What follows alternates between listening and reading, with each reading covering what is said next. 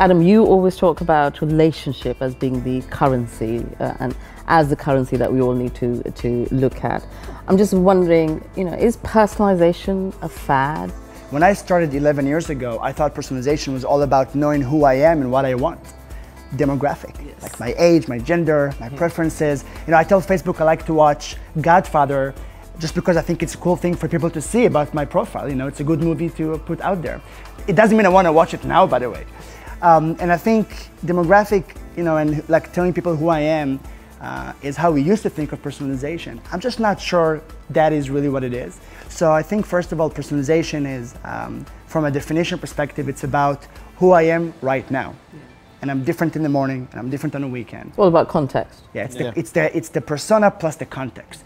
And once you marry those two, you're able to really create a better experience for consumers.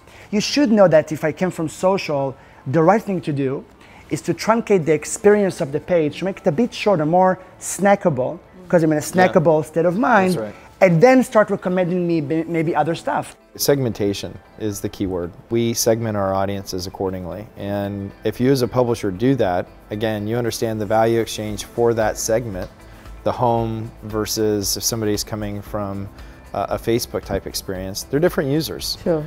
You know, getting the personalization equation correct uh, and it's algorithm based. It's understanding behavior of users um, in certain segments and not what they tell you uh, per se. Uh, it's probably a little bit of both. So uh, what I would like to ask is how do you approach it at CBSI, the, the whole personalization? It's a process. Um, and to Adam's point, it's, a, it's an investment. So it's, it's understanding from there what segment is this user in um, and then kind of once you parse that out, what is the content strategy that's tied to that segment of user? Uh, should we provide them long form content? Should we provide mm. them short form content? Using data in terms of observation of that user for that cohort, what type of content should uh, they be exposed to? Then you look at something like Taboola that's you know after that content, um, and they're employing you know algorithms on their side across their entire network that they've observed of what type of content these folks like. And again, like I was saying earlier, 75, 80% of the content that's in that feed is our own content.